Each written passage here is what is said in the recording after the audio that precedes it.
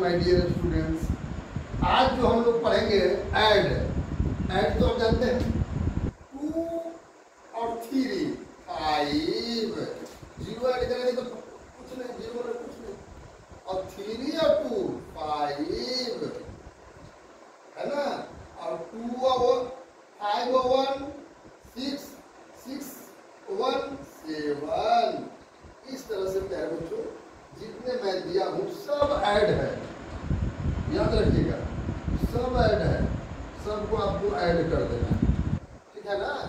ये देख रहे हैं बढ़िया देख लीजिए, ऐड कर देना कोई दिक्कत?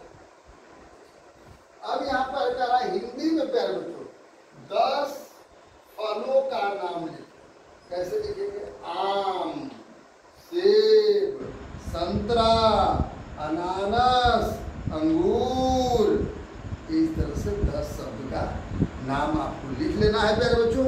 लेकिन हाँ सुंदर सुंदर राइटिंग में लिखेंगे। Thank you